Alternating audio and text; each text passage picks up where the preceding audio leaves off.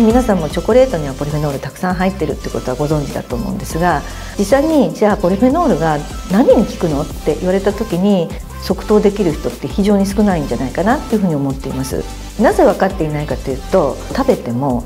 消化管からはほとんど吸収されないからなんです。吸収されない物質がその生理効果を及ぼすということは常識的には考えられないので、えー、その点も20年間ぐらい世界のポリフェノール研究者が研究を続けています。で、えー、海外では、えー、腸内細菌層に影響を与えるのではないかというような研究が進んでいます。しかしながらポリフェノールを摂取した直後から、えー、血流が上昇したりエネルギー代謝が更新したりするようなことがよく見られています。そのような非常に早い生理反応というのは必ずしも腸内細菌の変動を伴わないと考えられます。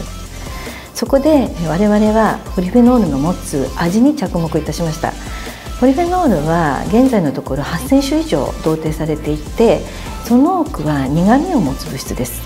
えー、しかしながらその一部には非常に強い渋みを持つ物質があります。例えばそういった化合物はチョコレートとか赤ワインに含まれることが分かっています。私たちは渋み物質を食べた時に脳が活性化するのではないかという可能性を示唆するデータを得ました。実際にマウスに渋み物質を投与した後の脳のノルアドレナリンの挙動を示したデータがこちらです。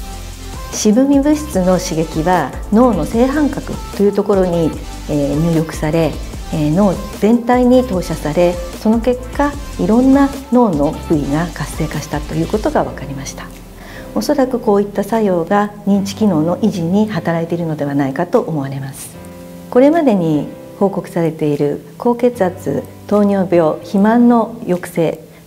あるいは骨格筋の増殖といったポリフェノールの効果は今まで作用メカニズムが全く分かりませんでしたが私たちの研究によって、えー、脳が活性化することにより交感神経が活性化されることでこのようなさまざまな効果が得られることが分かりました。私たちは毎日の食事から、えー、いろいろな感覚情報を得ています。それを私たちは食感覚と呼んでいます。食感覚には、えー、味匂い